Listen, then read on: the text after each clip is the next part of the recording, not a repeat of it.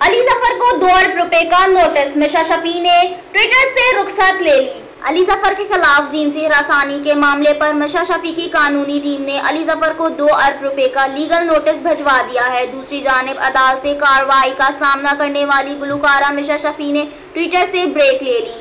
مشا شفی اور علی ظفر کے درمیان جنسی ہراسانی سے متعلق معاملے میں نیا موڑ آ گیا۔ گلوکارہ کی قانونی ٹیم نے علی ظفر کو حد تک عزت پر دو ارب روپے کا نوٹس بھجوا دیا۔ قانونی ٹیم میں شامل نگہت دار ایڈوکیٹ نے نوٹس کی کاپی اپنے ٹویٹر اکاؤنٹ پر شیئر کی ہے۔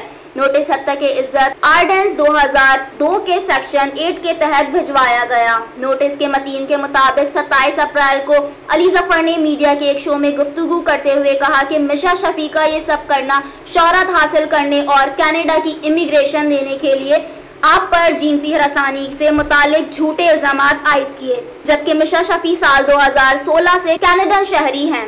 نوٹس میں علی ظفر سے یہ بھی کہا گیا ہے کہ آپ نے یہ غلط بیانی کی کہ مستحصب کی جانب سے جنسی ہراسانی کا کیس ختم کر دیا گیا ہے اور آپ ان تمام الزامات سے بری الزمہ ہیں۔ اس سے قبل میڈیا کے ایک پروگرام میں گفتگو کرتے ہوئے نگہت داد کا کہنا تھا کہ مشا شفیع کا کیس تکنیکی بنیاد پر مسترد کیا گیا ہے، کیونکہ علی ظفر اور مشا شفیع کے دور درمیان ملک اور ملازم کا تعلق نہیں۔ اس کا مطلب یہ نہیں کہ عدالت نے مشا کو قصوروار قرار دیا۔